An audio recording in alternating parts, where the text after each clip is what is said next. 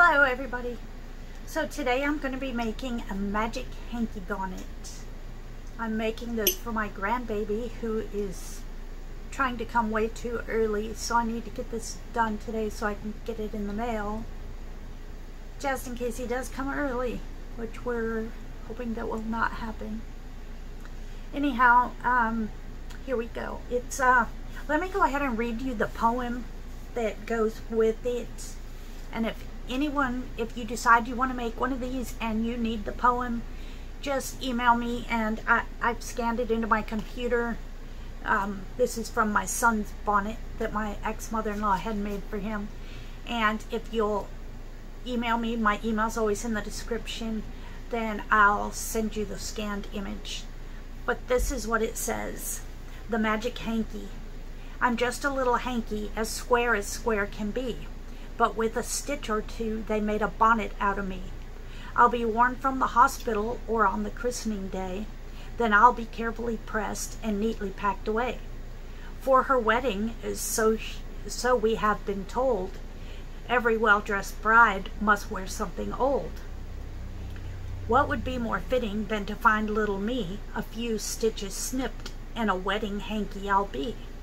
If perchance it is a boy, which mine is, some day he'll surely wed, so to his wife he can present the hanky once worn upon his head. And I um, placed mine on it. I printed mine on cardstock and then I put it on another cardstock, cut it with some little fancy scissors, put a few dots on it, just, you know, dressed it up a little bit. I'm going to put a bow on it. And um, also in the description, I'm going to put a link to the lady that I bought my hanky from. I didn't realize until I bought it because I, I got one with an M initial for my grandson. But when I bought it, it said a seller you bought from before and I went and looked and I had bought two other hankies from her. She sells vintage hankies and um, they're usually pretty nice. So I'll put her link in the description. But here we go.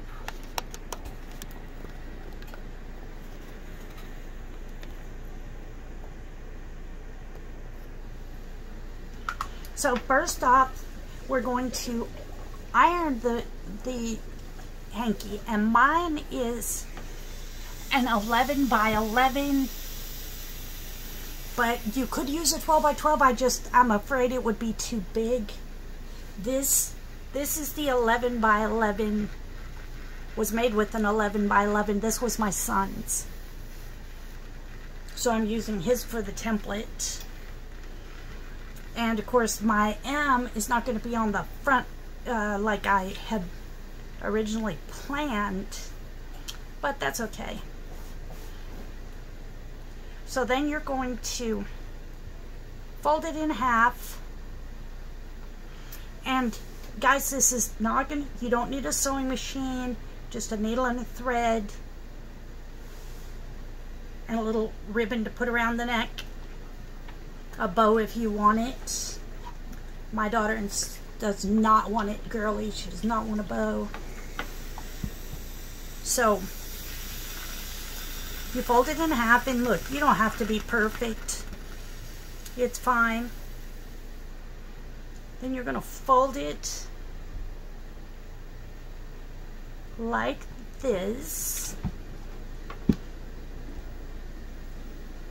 Press that down.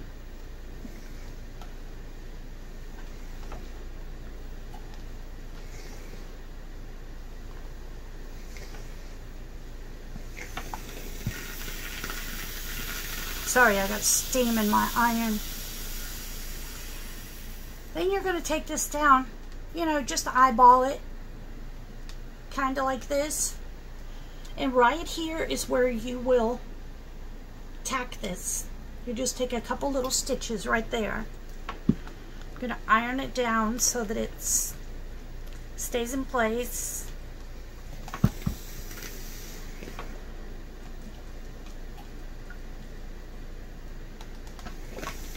Like so. And then you will put it in half this way and you're just going to flip the corner up.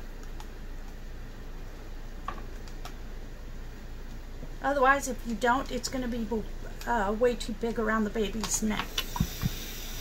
Unless, of course, you have a big baby. If our baby comes too early, then we'll have a tiny baby and it won't fit. Let me straighten this up a little bit. Since it will be on the outside flip.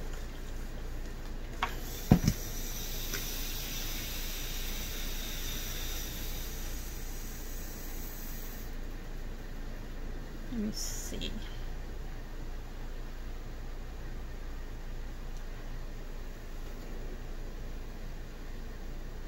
I want to make them the same. So it should flip right about here.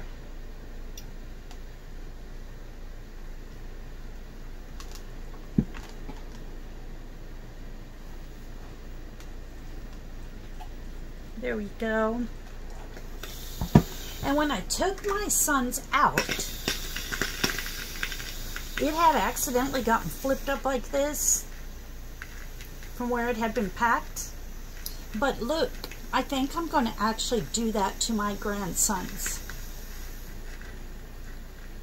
Because you know how their heads are always falling over and it's going to be up against his neck.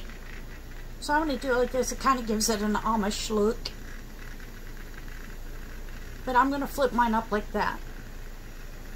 So, you've folded it in half, you've ironed it, you put your two sides down, met in the middle, ironed it, flip this down, ironed it.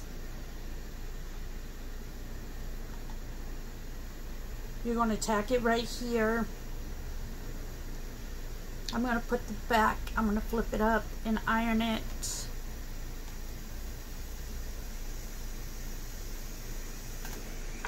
Like this.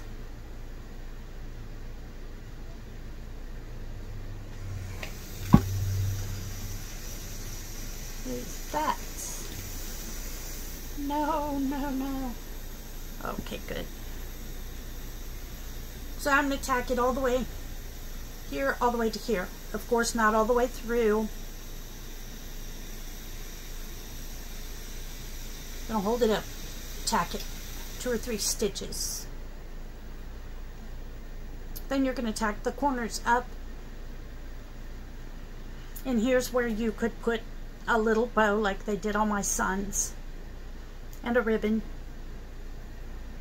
She may get a little bow whether she wants it or not. I kind of like that little bow.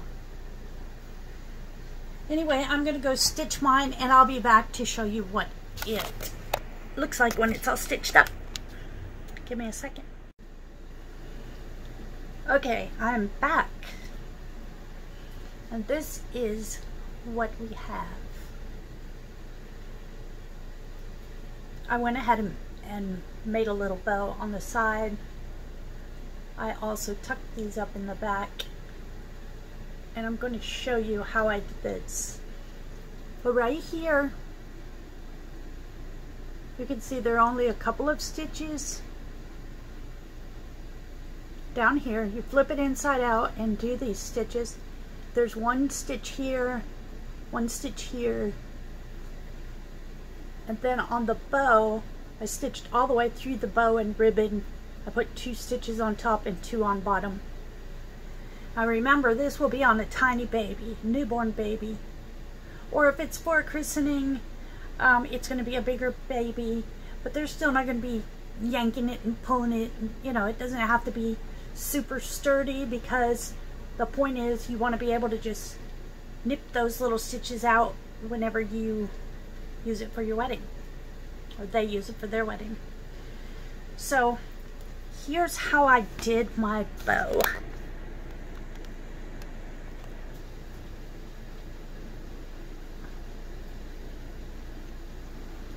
I took my ribbon and I used this because it's nice and soft. I had grosgrain ribbon. I didn't have any of the really tiny ribbon. So you're going to have these little frayed edges when you cut it. Just take a lighter. Don't get it real close or it'll put a black mark across it. So you do that to keep the edges from fraying. I cut these on an angle and did the same thing here. Then I just flipped it around my finger like that. Pushed it together. Folded this in half to go around.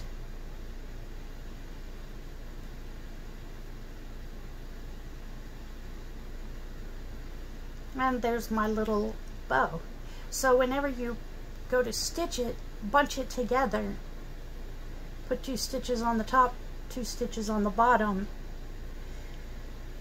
stitching through your little folded piece. I'm just going to leave that. See, here's the stitching.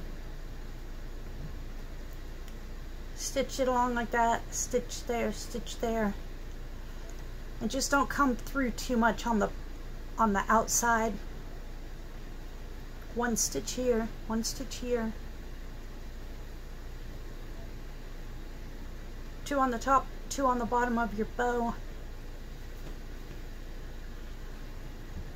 and there you have it. I don't like how my initial is so far back on the hat, but like I said, it's going to be a wedding hanky ultimately. It's only for uh, my grandbaby's going to wear his home from the hospital if he makes it until I get this shipped to them. You also could tuck this back if you have a, a tiny baby. Say he comes out and he's really tiny and you want to use the hat. You would fold this corner in, go back, put a stitch here on the top. I'm going to show you one more this was one I had made some time back. If you have a girl and you want it to be a little more girly, you can get, you know, some kind of fancy hanky. And on this one, same thing, not a lot of stitches. I put stitch on the end, stitch in the middle. Actually, I think I did two stitches at each place to make it sturdy. Fold up the edges, these are pre-made bows with ribbon. And then the way this one works is you would pull it like this and it gathers up to make a really cute little bonnet. And of course you could do this for a boy as well. Uh, like I said, my daughter was she was adamant she wanted it to not be girly. So I didn't think she would really like this kind, even though I think this is really cute. You could have still made this with a regular hanky. In fact, I got this vintage hanky because his coming home outfit is going to be gray. So I got this one white with the gray embroidery. And since she felt like they were flowers, she did not want this one. And this is from the lady that I'm going to leave her link. This is one of her vintage hankies. And then, of course, I loved this one. Still has the original tag. It's Egyptian cotton, handmade in the Philippines. Anyway, um, her hankies are uh, like anywhere from five to I think twelve dollars. I pay like six or seven for most of the hankies I've gotten from her, so I'll leave her information below. Here's the girl version.